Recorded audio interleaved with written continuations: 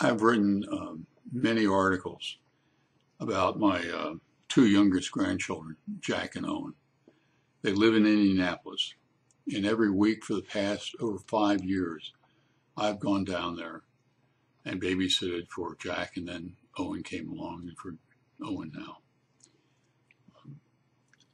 a couple days before Halloween this year, I uh, thought it'd be a good opportunity to bake cookies with them.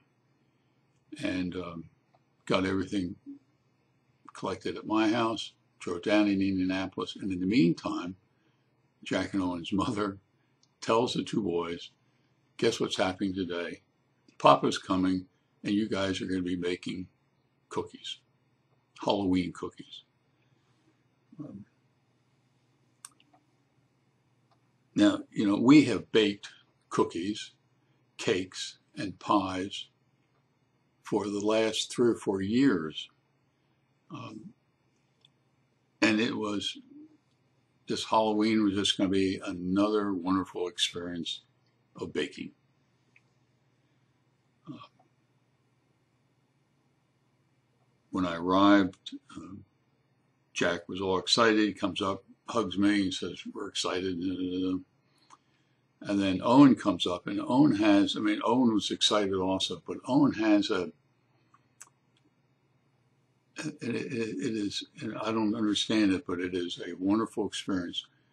He's happy to see um, me or anybody else, and what he'll do is jump in your arms and just hold you quietly, not say anything, but just hold you tight. And and then when he's done his hugging, then he'll start to talk to you. And the first thing he says after he's hugged me for a, few moments, he looks at me and all excited. He just he can hardly wait. He looks at me and says that we're going to be making cookies for you.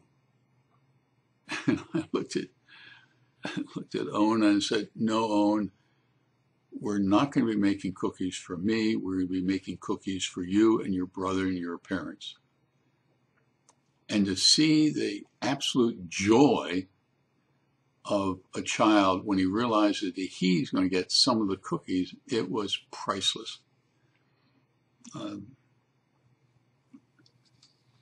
and and so we run into the house and you know had to mix up the uh, food coloring and white icing.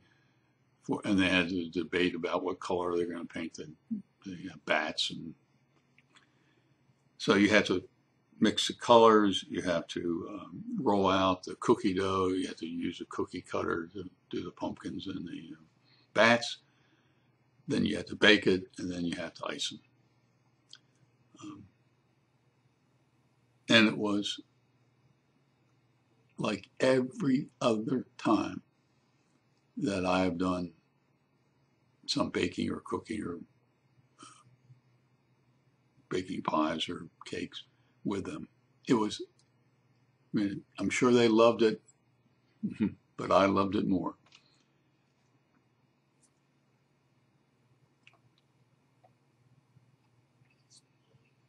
I got home that night and um, started to, um, I mean, I had, a, had to do some classwork and some classes I was teaching. And late at night, I kind of um, wanted to start this essay. And um, I started it, and it was just like, you go to my webpage and write down Jack Owen baking, and you'll find dozens of articles. It was going to be just like that. And then came the haunting question. You know, I, I love my three children. I love Ayana, who is my granddaughter, who's 20 years old. She's an adult. I mean, I love all four of them. But there's something different about Jack and Owen. And that, that question has haunted me, starting with Jack over five years ago, and three years ago with Owen when he came into the world. could never quite figure out what was the difference.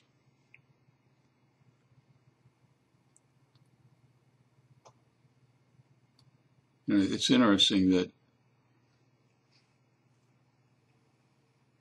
that while we were baking and making the cookies, you had two preschoolers all excited.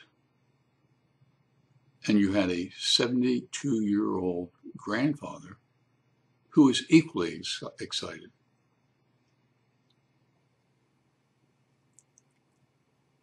And the last part of this essay is about how I'm starting to begin to understand the difference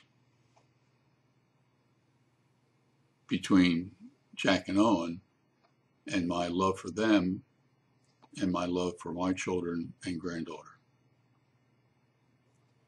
And it has to do with experiences in the recent past in my life. Um,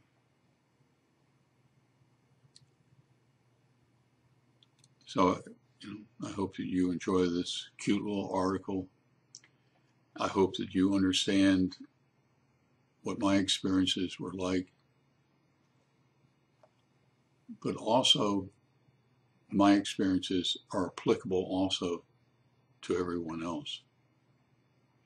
You know, at least take time with your family, your extended family, um, and and you will you will benefit.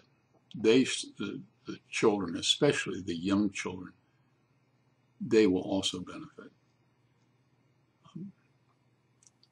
So in the meantime, uh, I appreciate your uh, watching and listening to this uh, video, and um, I appreciate the time it takes for you to read the article. In the meantime, you take care.